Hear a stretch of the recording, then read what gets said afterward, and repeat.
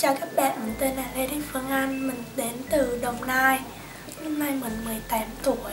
Sở thích cá nhân của mình là uh, được nghe nhạc, học tập, vui chơi.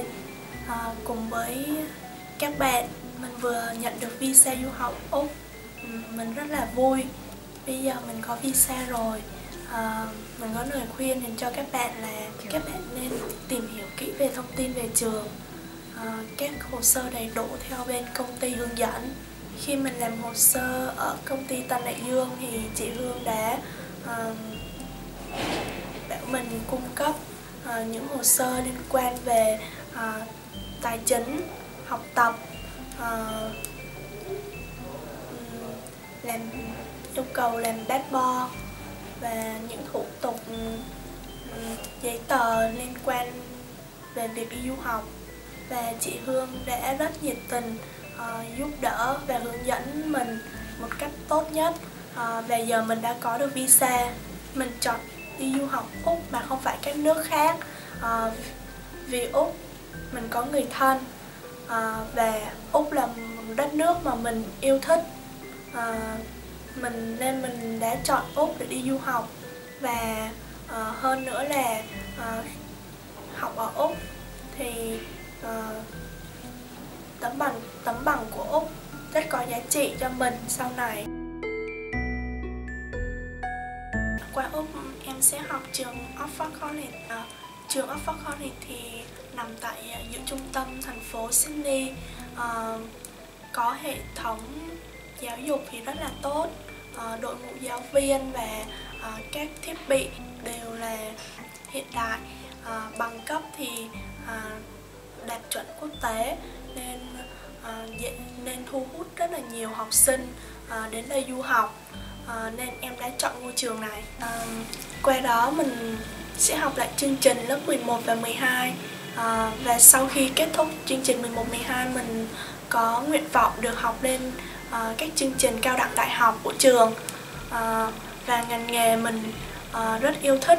À, mình muốn được học đó là à, sẽ được học uh, sẽ trở thành một bác sĩ nha khoa. Và sau khi lấy bằng của úc thì uh, mình muốn được trở về việt nam uh, muốn góp ích cho đất nước được tốt hơn mang nhiều kinh nghiệm ở bên úc về uh, giúp cho đất nước. Khi làm hồ sơ ở công ty Tân Đại Dương thì em cảm thấy uh, công ty các nhân viên rất nhiệt tình hướng dẫn và uh, giúp em làm hồ sơ rất là tốt chị Hương hướng dẫn hồ sơ uh, em rất là nhiệt tình uh, giúp đỡ những uh, những gì mà em chưa biết giúp em hỗ trợ cho em uh, những gì còn thiếu sót để em uh, được nhận uh, visa dịch vụ của Tân Đại Dương uh, rất là tốt và rất là hài lòng uh, với công với đội ngũ nhân viên và công ty. Em biết được công ty à, là nhờ rất là nhiều người đã à, từng làm đến và được nhận cấp visa. Nên em đã cảm thấy rất là an toàn nên đã à, làm hồ sơ tại công ty Tân Đại Dương. Và bây giờ Phương Anh đã có visa. Phương Anh à, có lời khuyên dành cho những bạn đang chuẩn bị làm hồ sơ Úc là à, hãy tự tin Ờ, và chuẩn bị tốt hồ sơ để để nhận được ờ, visa, những bạn nào mà còn đang lúng túng ờ, và chưa hiểu rõ đến về hồ sơ thì hãy mạnh dạn tìm hiểu đến dịch vụ của công ty. Công ty sẽ hướng dẫn tận tình cho các bạn biết rõ và giúp các bạn có được visa như Phương Anh hôm nay.